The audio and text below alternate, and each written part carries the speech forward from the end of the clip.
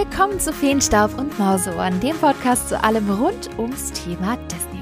Und heute schauen wir uns mal ein Thema an, zu dem ich in den vergangenen Jahren die meisten Fragen von euch bekommen habe, egal ob per Direktnachrichten, Kommentare oder E-Mails. Disney Reiseplanung. Ich weiß, wie viele von euch Disneyland lieben, regelmäßig die Disney Parks besuchen oder unbedingt mal in einen Disney Park gehen wollen, weil sie es noch nicht zuvor geschafft haben. Und gerade die Disney Parks gehören für mich zu den größten Leidenschaften in meinem Leben, weil ich das Konzept liebe und auch die Möglichkeit mit meinen besten Freunden und mit meiner Familie einfach mehrere Tage einen riesen Spaß zu haben und den Alltag vergessen zu können. Und was man sehr schnell merkt, wenn man einen Disney Park besucht, man muss planen. Es gibt viel vor Ort zu erleben, aber auch vieles, was man im Vorfeld beachten muss. Ja, Planung. Warum sollte man überhaupt planen? Die Rechnung ist da sehr einfach. Ihr investiert vorab Zeit in die Planung vor eurem Disney-Trip, die ihr dann vor Ort nämlich einspart. Ja, klingt gut. Und nicht nur das, gute Reiseplanung spart euch immer Geld. Und dieser Plan geht eigentlich zu 99,9 Prozent aller Reisen auf, egal ob ihr nach Paris, Florida oder Asien reisen möchtet.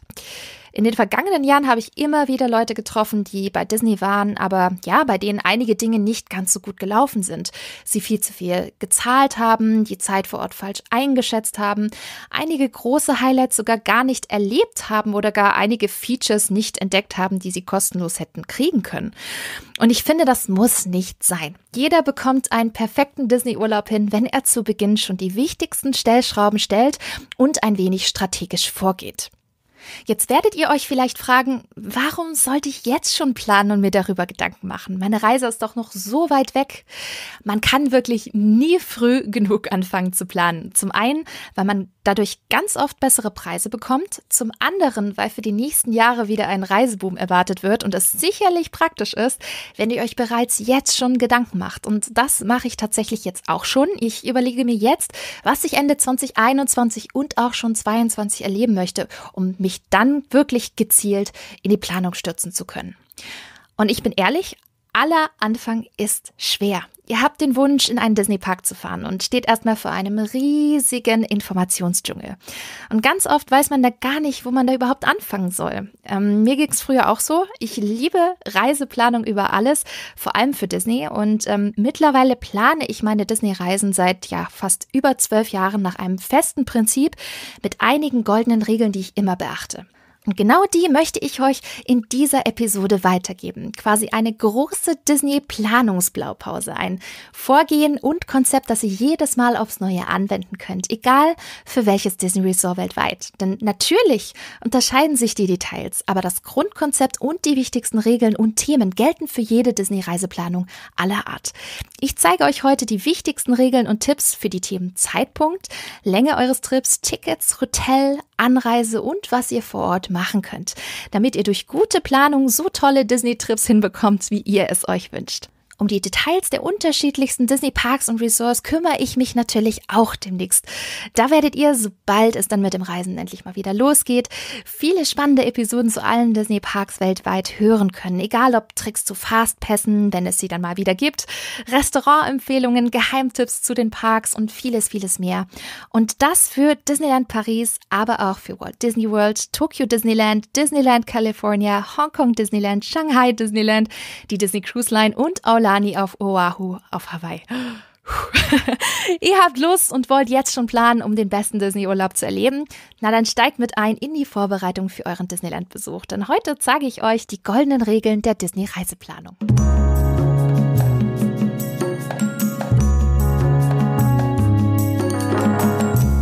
Ganz am Anfang steht meistens die Frage, wann sollte ich überhaupt in einen Disney-Park reisen? Wenn ihr diese Frage beantwortet, fallen euch die kommenden Schritte auch deutlich leichter. Und das ist abhängig von ganz vielen Faktoren. Ich denke, ihr wollt natürlich dann gehen, wenn der Disney-Park eurer Wahl nicht allzu voll ist und die Warteschlangen auch nicht allzu lang sind. Dann bietet sich natürlich an, die Hauptsaison und die Wochenenden eher zu meiden. Der Klassiker. Zwei weitere Faktoren, die das ebenfalls beeinflussen, lokale Feiertage und Schulferien. Und das solltet ihr immer für das jeweilige Disney-Resort eurer Wahl recherchieren. In den USA zum Beispiel sind das spezielle Feiertage wie der 4. Juli oder Thanksgiving. Ja, das sind richtige Peak-Tage dort, in denen die Parks aus allen Nähten platzen. In Japan ist es zum Beispiel die Golden Week Ende April und Anfang Mai. In Paris bietet es sich zum Beispiel eher weniger anzugehen, wenn die Zone C Schulferien hat. Das ist nämlich die Paris-Region und das merkt man immer sehr schnell an den Wartezeiten, wenn die Bewohner der Region Ferien haben. Und je leerer der Park, desto günstiger sind auch die Preise. Da freut sich natürlich auch euer Reisebudget, wenn ihr tendenziell eher in der Nebensaison geht. Für einige Disney-Parks weltweit gibt es auch Crowd Calendars, in denen es Prognosen gibt, wie voll ein Park zu einem bestimmten Zeitpunkt sein kann. Deswegen einfach den Namen des Disney-Parks plus Crowd Calendar eingeben auf Google und ihr findet oftmals eine Vielzahl an Kalendern, die euch genau das anzeigen. Am besten hier auch vergleichen, damit ihr eine gute Tendenz bekommt. Dann ist ein weiterer großer Faktor das liebe Wetter und die jeweilige Jahreszeit. Ach, Sonnenschein, 28 Grad. Manche wollen in Disneyland lieber warme Temperaturen erleben. Andere lieben eher den Frühling oder Herbst, weil die Temperaturen dort einfach angenehmer sind. Da müsst ihr euch natürlich überlegen, was am besten passt. Falls ihr euch für eine Fernreise nach Florida, Hongkong oder Tokio entscheiden solltet, müsst ihr auch das Thema Unwetter mit einkalkulieren. Hurricane- und Taifunsaison im Spätsommer und Herbst könnten euren Aufenthalt beeinflussen mindestens durch ein paar Tage schlechtes Wetter, im schlimmsten Fall aber auch durch Flugausfälle oder gar Parkschließungen. Deswegen ist bei den genannten Zielen in der Sturmsaison auch immer ein kleines Risiko dabei. Recherchiert hier am besten die mögliche Saison für das Land, in dem der Disney Park liegt und wenn ihr das ausschließen möchtet, weil es euch bei dem Gedanken ein bisschen Bauchschmerzen bereitet, solltet ihr vielleicht lieber für einen anderen Zeitraum planen. Und dann ist da noch das Thema Jahreszeit und Saison. Ihr wollt unbedingt Weihnachten in den Disney Parks erleben oder spezielle Dekorationen und Shows zu einem anderen Themenfestival? Informiert euch doch vor eurer Reise, ob es in den nächsten zwölf Monaten eine spezielle Disney-Saison gibt, die ihr vielleicht mitnehmen oder erleben möchtet. Weihnachten ist da immer zum Beispiel sehr verlockend, ist auch meine ganz persönliche Lieblingssaison weltweit. Da gibt es immer besondere Shows, besondere Attraktionsversionen, die ihr nur in dieser einen Saison erleben könnt. Das ist ebenfalls als etwas, was die Wahl für euren Besuchszeitpunkt beeinflussen könnte. Etwas anderes solltet ihr auch noch beachten, vor allem wenn ihr einen bestimmten Grund habt, warum ihr einen Disney-Park unbedingt erleben möchtet, wie beispielsweise eine tolle Attraktion wie Indiana Jones Adventure in Disneyland California oder die große Star Wars-Attraktion Rise of the Resistance. Recherchiert hier vorab im Internet, ob es schon fixe Daten für die jährliche Renovierung gibt, denn wir wissen alle, die Disney-Parks haben 365 Tage im Jahr geöffnet. So, die technischen Checks und Renovierungen werden deswegen während der Eröffnung Planung gemacht und oft werden diese Termine vorab kommuniziert, entweder auf der offiziellen Disney Park Website oder auch über größere Fan-Websites, die eben diese Informationen sammeln und direkt von Disney zum Teil bekommen. Checkt das ebenfalls ab. Auch wenn ihr keine hundertprozentige Garantie habt, denn sowas kann sich auch mal verschieben oder es muss unangekündigt etwas repariert werden. Hongkong und Shanghai geben diese Informationen nicht raus. Tokio hingegen hat einen sehr übersichtlichen offiziellen Plan für beide Parks. Deswegen vorab in die Renovierungsdaten reinschauen, das lohnt sich sicherlich. Letztendlich ist die Frage, wann ihr am besten ins Disneyland fahrt, auch eine sehr individuelle Frage. Denn nicht jeder ist super flexibel. Der eine kann nur in den großen Sommerferien verreisen, der andere eben nur an bestimmten Wochenenden aufgrund von wichtigen Terminen. Ganz wichtig, lasst euch daher nicht entmutigen, wenn ihr nur im Sommerzeit habt oder nur am Wochenende. Macht es im Zweifelsfall trotzdem, vor allem bevor ihr eben gar keinen Disney-Urlaub haben könnt. Denn mit guter Planung und Priorisierung eurer Mastus vor Ort bekommt ihr ebenfalls einen tollen Disney-Trip hin, auch wenn ihr nur in der Hochsaison gehen könnt.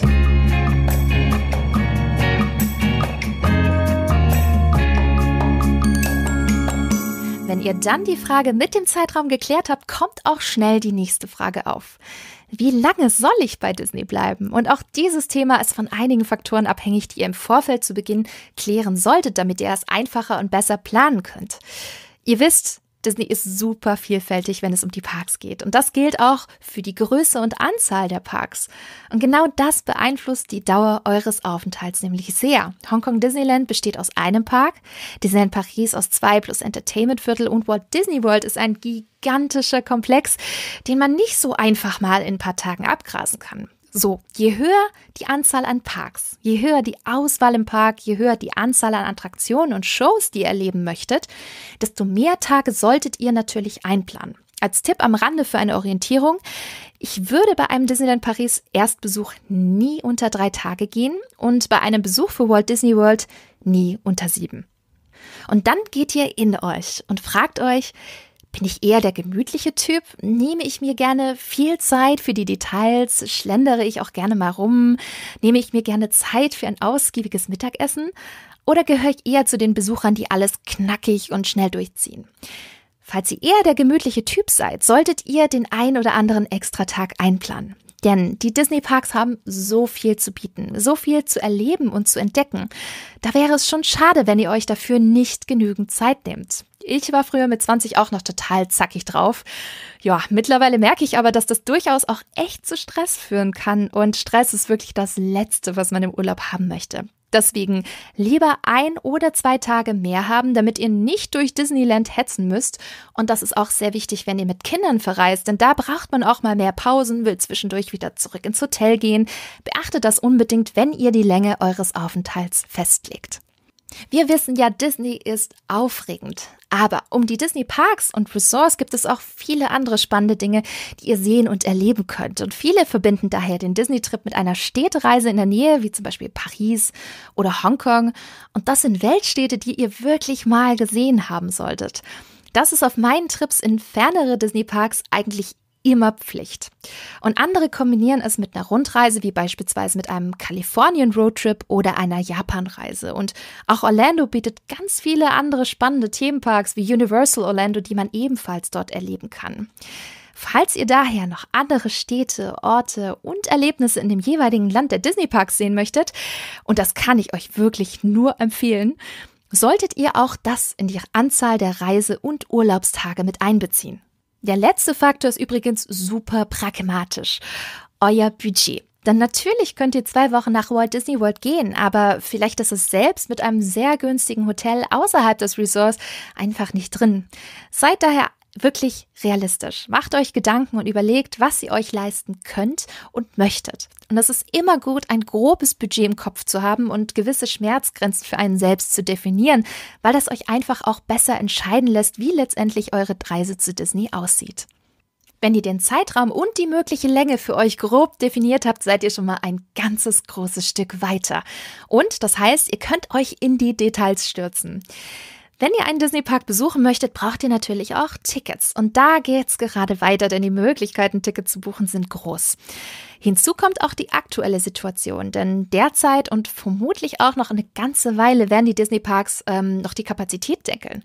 Sprich, ihr müsst online vorab bestimmte Wunschtage im Voraus auswählen und fest buchen. So, Spontanbuchungen und Käufe vor Ort sind nicht möglich.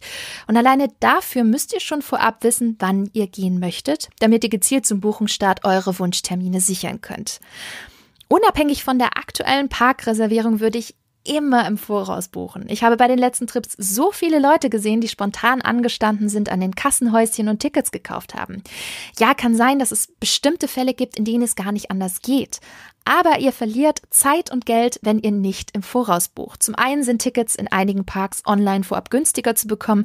Zum anderen habt ihr Tickets schon direkt in der Tasche und müsst nicht für eure Tickets anstehen. Unter diesen Gesichtspunkten empfehle ich derzeit am besten eure Tickets direkt bei Disney zu buchen. Denn ihr seid in der aktuellen Lage am abgesichertsten. Disney reagiert sehr flexibel und kulant in puncto Verschiebungen und Stornierungen. Und falls sich die Situation verbessern sollte, kann ich euch auch Anbieter wie Attraction Tickets Direct empfehlen. Die sind für Walt Disney World und Disneyland California ebenfalls gut, haben spannende Deals und mit denen habe ich auch einige gute Erfahrungen vor der Pandemie gemacht. Ein Geheimtipp, der übrigens mittlerweile gar nicht so ein Geheimtipp ist, Jahreskarten. Ganz viele Leute haben aber dieses Thema tatsächlich immer noch nicht auf dem Schirm, weil viele auch denken, dass sie sich eine solche Karte gar nicht leisten können.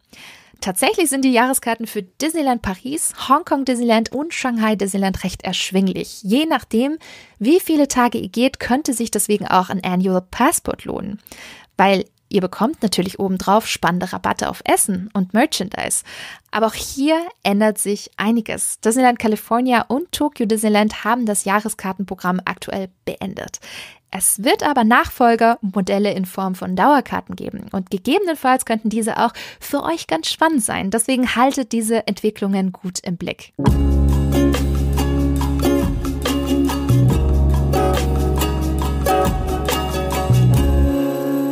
So einen traumhaften Disney-Urlaub plant, möchte natürlich auch gut übernachten. Daher muss auch die Frage nach dem richtigen Hotel beantwortet werden. Und gerade diese Frage ist total von eurem Reisebudget und euren eigenen Ansprüchen abhängig. Der eine mag es eher praktischer, weil er dafür mehr im Park ausgeben möchte. Der andere mag eher Komfort und liebt Themenhotels. Das kommt daher völlig auf euch an. Und wenn ihr zu Disney geht, ist da diese große Frage, Disney Hotel, ja oder nein? Ich weiß, dass diese Frage wirklich wild diskutiert wird. Und tatsächlich kann man diese Frage pauschal gar nicht so beantworten, weil es sehr, ja, komplex ist. Je nach Disney Resort lohnt sich ein Disney Hotel mal mehr, mal eher weniger. Und vor allem, wenn ihr auf ein gewisses Preis-Leistungs-Verhältnis achtet, und ja, darauf achten sehr viele, inklusive mir, dann gibt es große Unterschiede. Mm, in Hongkong Disneyland, Walt Disney World und Shanghai Disneyland kann ich die Übernachtung in einem Disney Hotel wirklich wärmstens empfehlen. Die Preise sind teilweise für Disney recht fair. Man bekommt gute Angebote, gerade in Hongkong und Shanghai. Und es gibt zum Beispiel in Walt Disney World doch einige Vorteile, die sich sehr positiv auf euren Besuch auswirken können besondere exklusive Fortbewegungsmittel wie der Skyliner, die Möglichkeit einfach früher in die Parks zu kommen. Vor der Pandemie konnte man 60 Tage vorher bereits Fastpässe online buchen und das ist wirklich toll. All das gibt einem eine extra Portion Magie und auch das Gefühl, einfach mehrere Tage in einer wunderschönen Disney-Bubble zu sein, weil man aufwacht und schon direkt bei Disney ist. Und das ist echt nicht zu unterschätzen. Dann hat man wirklich toll gestaltete Themenhotels, die einen morgens beim Frühstück schon voll in Stimmung bringen. Und das macht den Urlaub so besonders, weil man da richtig vom Alltag abschalten kann. Zumindest geht's mir immer so. Wenn es kein Disney-Hotel sein muss, ihr aber dennoch im Geschehen sein wollt, sind offizielle Disney-Partner-Hotels eine gute Adresse, die zum Teil auch einige besondere Vorteile haben, wie zum Beispiel direkte kostenlose Shuttlebusse zu den Disney-Parks oder eine unmittelbare Laufnähe. Außer Hongkong und Shanghai haben alle Disney-Parks weltweit solche Hotelpartnerschaften. Deswegen einfach mal recherchieren und abchecken, ob da nicht auch ein geeignetes Hotel mit ein paar Vorteilen dabei ist. Meistens sind diese Partnerhotels direkt auf den offiziellen Disney-Parks-Websites auch aufgeführt. Wenn ihr ein kleineres Budget habt oder ihr denkt, ach, ich bin doch sowieso die meiste Zeit im Park und nur zum Schlafen im Hotel, dann sind auch kleinere, günstigere Hotels in der unmittelbaren Umgebung für euch das Richtige. Viele internationale günstige Hotelketten sind da sicherlich eine gute Adresse, weil es hier einen bestimmten Standard gibt, der normalerweise überall einigermaßen gleich ist. Das wäre zum Beispiel Ibis und Ibis Budget, Campanile oder B&B in Paris. In den USA ist es zum Beispiel Comfort Inn und in Japan MyStays oder Mitsui Garden. Generell gilt immer, schaut euch die Hotels vorab an. Lest euch Bewertungen auf Google, TripAdvisor oder Holiday Check durch und schaut euch die Bilder von anderen Reisenden dort an, um im Vorfeld auch sicherzustellen, ob euch das Hotel überhaupt zusagt. Denn nichts ist schlimmer als eine böse Überraschung im Hotel, nicht wahr? Und dieses Risiko könnt ihr tendenziell stärker ausschließen, wenn ihr euch da gut reinlest und informiert. Die große Frage ist hier, wie findet ihr die Hotels, die für euch in Frage kommen? Gerade bei den Disney Hotels sind die offiziellen Websites sicherlich die erste Anlaufstelle. Aber man kann natürlich auch auf Online-Reiseportalen schauen, sollte man auch tun. Aber ich spreche aus Erfahrung, das kann oft sehr unübersichtlich sein. Deswegen nutze ich seit ein paar Jahren das Feature Google Hotels, denn hier sieht man direkt auf Google Maps die Hotels mit dem jeweiligen Preis pro Nacht für den ausgewählten Zeitraum. Und gerade wenn einem die Lage in der Nähe zu einem Disney-Park wichtig ist, und die Lage sollte euch wichtig sein, denn dadurch spart ihr auch Zeit, ist das Feature wirklich Gold wert. Ihr könnt direkt dort auch schon einen Preisvergleich pro Hotel mit den gängigen Online-Anbietern machen. Für viele, die eher flexibel sein möchten, könnte auch ein Apartment in der Nähe der Disney Parks spannend sein, aber Achtet auf die lokalen Bestimmungen, denn in manchen Regionen gibt es mittlerweile Verbote für Airbnbs oder strikte Begrenzungen, die zu sehr spontanen Kündigungen kurz vor Reisebeginn führen können, wie zum Beispiel in Japan. Wer es also eher etwas sicherer mag, sollte in meinen Augen tendenziell mehr auf ein Hotel zurückgreifen. Und da sind wir schon bei einem ganz wichtigen Thema, was ich immer und immer wieder predige. Vergleichen, vergleichen, vergleichen. Der erstbeste Preis ist oftmals natürlich nicht der beste und auch Angebote, die einem vollmündig als solche ganz groß angepriesen werden, vor allem die auf Facebook und Instagram, sind es oftmals gar nicht. Daher solltet ihr in jedem Fall vergleichen. Checkt die Preise auf den offiziellen Disney-Websites. Checkt die Preise auf Google Hotels, auf den Hotelsuchmaschinen wie Trivago und auch die Hotelpreise auf der offiziellen Website des Hotels eurer Wahl. Dann da schauen viel zu wenige immer rein, weil viele denken, ach, die Preise sind dort immer am höchsten. Nein, ich habe da durchaus schon den ein oder anderen Black Friday Deal in den vergangenen Jahren gemacht, der gar nicht groß beworben wurde und wo ich mich bis heute frage, wie ich das geschafft habe, so einen guten Preis zu bekommen. Auch ein Tipp, Einige Hotelketten haben kostenlose Membership-Programme, mit denen man ebenfalls immer wieder Rabatte auf den Übernachtungspreis oder ein kostenloses Frühstück bekommt. Auch das spart Geld. Und ihr kennt doch sicherlich bei der Buchung das kleine Feld Gutscheincode. Recherchiert auf Google für größere Reisebuchungsportale, ob es nicht aktuell einen Code gibt. Denn so könnt ihr vielleicht locker nochmals 10 bis 12 Prozent sparen. Und der letzte wichtige Großpunkt, Packages und Pauschalen. Viele von euch kennen das sicherlich von Disneyland Paris. Bundles mit Tickets, Hotelübernachtung und auch weiteren Specials. Und solche Packages gibt es so ziemlich in allen Disney Resorts weltweit.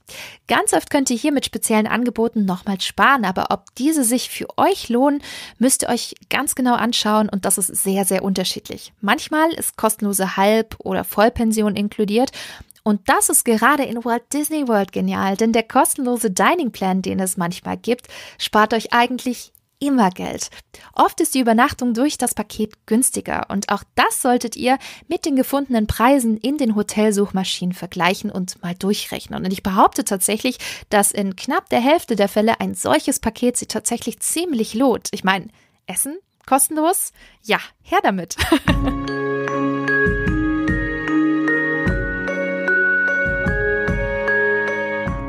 Datum und Hotelfix gemacht, das ist schon mal mega. Aber wie kommt ihr am besten hin? Für das Disneyland Paris ist das sicherlich am komplexesten. Ja, ausgerechnet für das Disneyland, das wir am schnellsten erreichen können. Warum eigentlich? Ja, weil wir so viele Möglichkeiten haben. Egal ob Flug, Bahn oder eben sogar das Auto. Wenn ihr hier die Wahl habt, lohnt es sich mal zu vergleichen. Ich komme aus Stuttgart, das heißt, ich kann alle drei Möglichkeiten nutzen. Ich habe mich aber in den letzten Jahren ausnahmslos für den Zug, sprich TGW und IC entschieden, weil für mich persönlich das Preis-Leistungs-Verhältnis einfach stimmt. Es ist super bequem, es ist stressfrei. Ich brauche zeitlich fast genauso lange ähm, wie mit dem Flugzeug, aber ohne den ganzen nervigen Check-in-Teil. Deswegen schaut einfach, wo ihr wohnt und was von euch aus die beste Möglichkeit in puncto Kosten und Distanz ist. Falls ihr euch auch ähm, für die Bahn entscheiden solltet, checkt nicht nur die Buchungswebsite der Deutschen Bahn, sondern auch die der französischen Bahn SNCF oder die von Thalys, wenn ihr zum Beispiel ab NRW reist. Hier gibt es wirklich große Unterschiede, die sich wirklich massiv unterscheiden. Manchmal ist die Deutsche Bahn günstiger, manchmal SNCF. Und genau um das herauszufinden, ist es so wichtig zu vergleichen. Auch bei dem Anbieter L-Tour gibt es manchmal günstige Bahntickets nach Paris. Ihr seht, vergleichen lohnt sich wirklich, damit ihr hier auch den besten Preis bekommt. Für Leute, die etwas weiter weg wohnen und natürlich auch für alle anderen internationalen Disney Resorts sieht es dann ein bisschen einfacher aus, denn da bleibt einem quasi nur das Flugzeug. Je nach Ziel hat man da unterschiedliche Möglichkeiten mit unterschiedlichen Airlines zu unterschiedlichen Preisen. Und hier checke ich gerne Flugsuchmaschinen wie Swoodoo oder Kayak ab und vergleiche sie mit den offiziellen Preisen der jeweiligen Fluggesellschaften. Und es ist überraschend, denn manchmal habe ich sogar bei der Lufthansa direkt den besten Preis bekommen. In der aktuellen Situation würde ich sogar ganz stark empfehlen, bei der Airline direkt zu buchen, weil man im Fall einer Umbuchung oder eines Ausfalls eben keinen Zwischenmittler hat, mit dem man das klären muss oder der einem unnötig im Weg steht mit der Kommunikation mit der Airline, falls etwas nicht klappen sollte. Das hatte ich nämlich letztes Jahr mit ja, meinem ins Wasser gefallenen Walt Disney World Trip und das war alles andere als gut. Deswegen kann ich persönlich euch das eher weniger empfehlen. Wenn ihr auch weiterhin eure Flüge über bestimmte Online-Reiseportale bucht, lohnt sich sicherlich auch die Kombimöglichkeit von Flug und Hotel. Denn da habe ich in der Vergangenheit auch locker boah, bestimmt 400, 500 Euro innerhalb einer Reise auf den Gesamtreisepreis gespart, nur weil ich Hotel und Flug kombiniert habe. Und den Preis habe ich wirklich nirgendwo anders so bekommen. Natürlich müsst ihr vom Bahnhof oder Flughafen auch erst zu den Parks kommen. Die besten Möglichkeiten dafür bekommt ihr eigentlich immer auf den offiziellen Disney Parks Websites aufgezeigt. Meistens gibt es direkte Shuttlebusse, wie zum Beispiel in Paris oder Tokio. Manchmal müsst ihr ein Taxi oder einen Ridesharing-Dienst wie Uber nehmen oder mit öffentlichen Verkehrsmitteln weiterfahren. Am besten das vorab auch schon mal abchecken, auch zwecks Tickets und Kosten, falls ihr schon im Vorfeld etwas buchen müsst. Weil dann könnt ihr quasi mehr oder weniger direkt vom Gate in das nächste Fortbewegungsmittel springen und seid dann auch schneller bei Disney.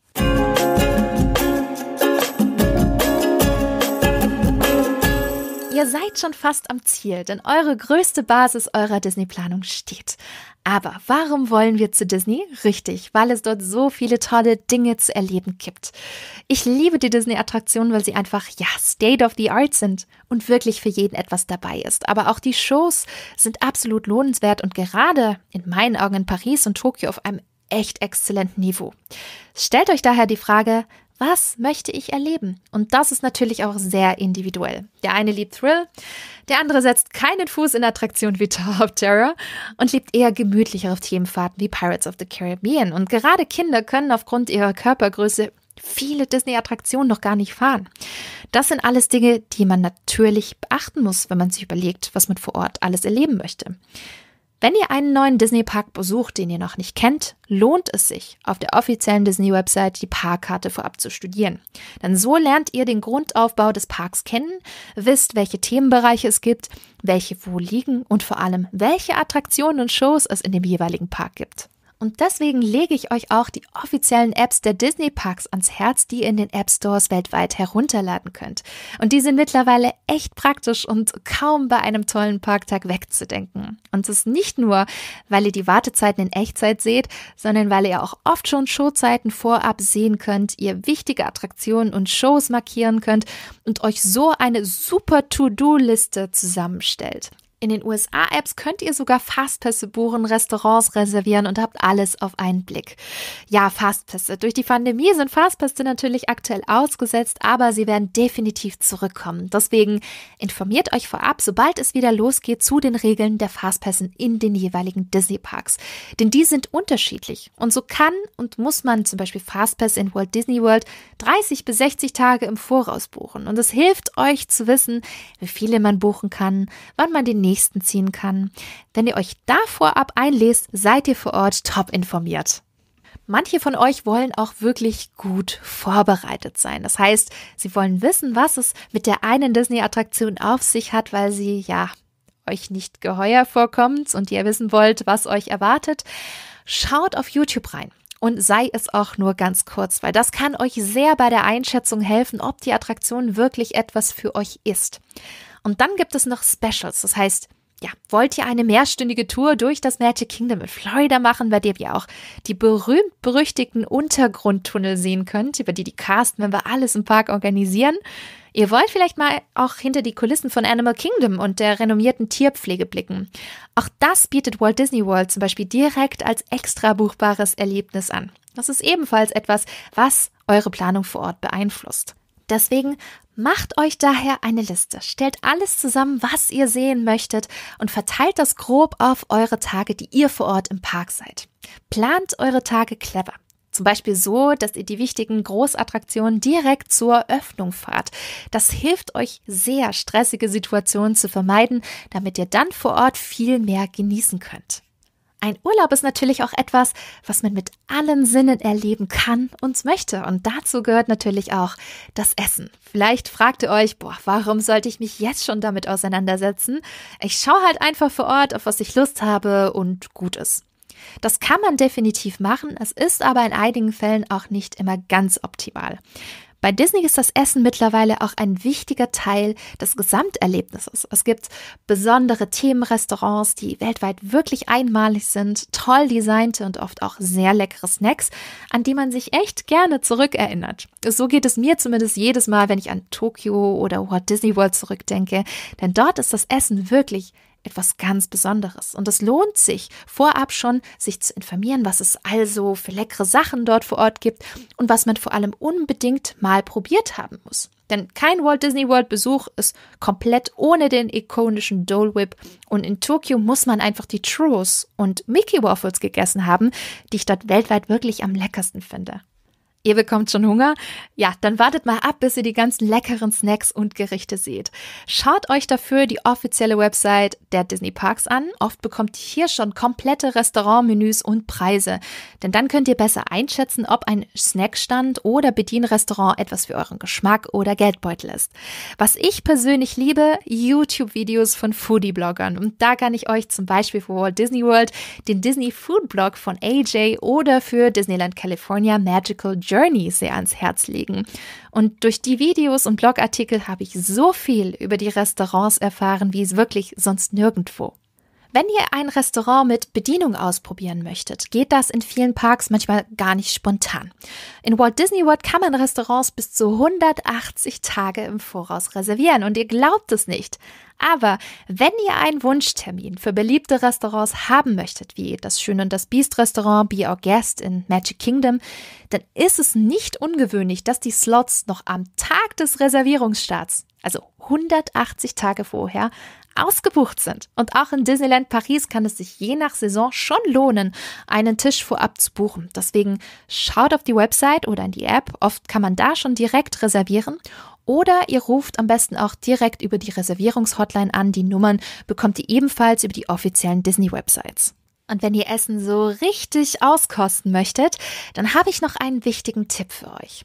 In manchen Parks gibt es ein festes Essenspaket, wie zum Beispiel der Disney Dining Plan in Walt Disney World.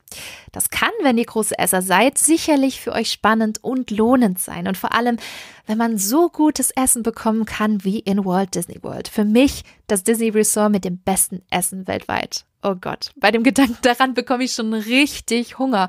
Und das lohnt sich oftmals dann, wenn ihr viel und gerne esst. Und vor allem die Gerichte auf der Karte nehmt, die generell etwas teurer sind, um so richtig das Preis-Leistungs-Verhältnis des Dining Plans auszureizen. Richtig lohnen tut sich der Dining Plan in Disney World oft, wenn er in manchen Angeboten sogar kostenlos obendrauf ist. Und wer möchte schon was gegen kostenloses Essen sagen? Richtig, keiner. Deswegen könnte diese Option in Walt Disney World sicherlich interessant sein, um euer Essenserlebnis optimal abzurunden.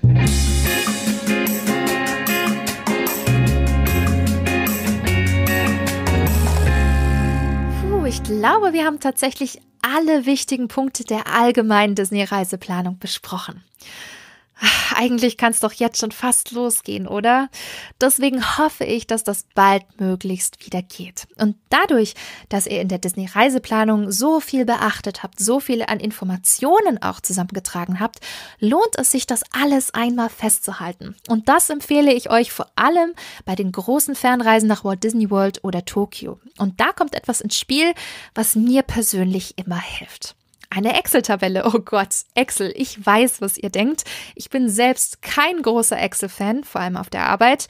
Aber dieser Excel-Plan wird euch helfen. Haltet ihn deswegen sehr simpel und übersichtlich. Pro Spalte ein Tag und in die Zeilen packt ihr jeweils eure wichtigen Dinge, die ihr schon fest gebucht habt oder geplant habt, wie Fastpässe, Restaurantreservierungen, gewünschte Meet and Greets mit den Charaktern oder Dinge, die ihr unbedingt nicht verpassen möchtet. Deswegen macht kurz vor Reisestart eine PDF draus und packt sie auf euer Smartphone. Und dann könnt ihr morgens vor eurem Start in die Parks oder zwischendurch auch immer wieder spickeln, was ihr so geplant habt. Ob ihr vielleicht heute noch einen bestimmten Snack probieren wolltet, bevor es dann abends wieder nach Hause geht. Und ihr wollt doch sicherlich nicht zu Hause ankommen und dann sehen, dass ihr ein paar Dinge, die euch wirklich sehr wichtig waren, vergessen habt. Und, und das kann passieren, denn bei Disney prasselt immer einiges auf die eigenen Sinne ein. Und macht euch bitte hier auch keinen Druck, denn dieser Plan dient nur als Orientierung mit den wichtigsten Facts und Must-Dos. Er hilft euch, eure Tage einfach besser zu planen. Zu 100 Prozent könnt ihr diesen Plan sowieso nicht komplett abarbeiten und da spreche ich aus Erfahrung. Aber es hilft euch, dass ihr nichts vergesst, dass ihr einen Ort habt, an dem ihr all eure Wünsche und eure Planungsdetails, aber auch Buchungen komplett finden könnt. Das könnt ihr auch mit Planungs-Apps machen, die ihr sowieso vielleicht schon benutzt. Alles ist erlaubt, was euch die Planung persönlich erleichtert. Natürlich können wir darüber auch sprechen, was ihr alles mitnehmen und einpacken müsst, an was ihr aber auch zwecks Einreise in die unterschiedlichen Länder eben denken müsst und Vielleicht wollt ihr auch wissen, wie ein perfekter Tag in Tokyo Disney Sea aussehen kann oder wie ihr günstig auch einen Disneyland Paris Trip bucht.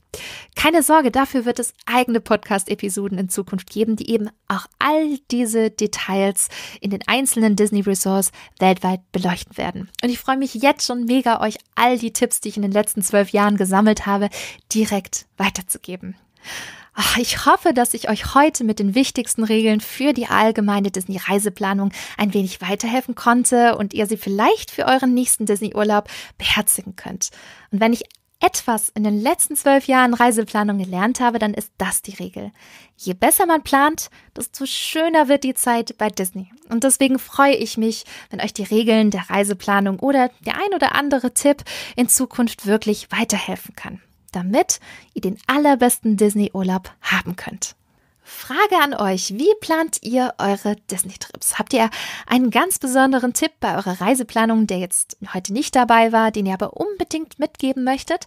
Schreibt es mir doch in die Kommentare unter dem Instagram-Post auf dem Feenstaub und Mauseohren-Account und ich bin schon sehr gespannt auf eure Kommentare. Ja, das war's mit der heutigen Episode. Hat es euch gefallen? Dann lasst doch gerne eine Bewertung bei Apple Podcasts da. Und wenn ihr mehr Disney News und Infos haben möchtet, findet ihr mich auch unter spinatmädchen.com, auf Social Media wie Instagram, Facebook und Twitter ebenfalls unter Spinatmädchen und natürlich auch unter Feenstaub und Mauseohren. Ich freue mich, wenn ihr das nächste Mal wieder einschaltet. Bis dahin, haltet die Mauseohren steif und bis bald!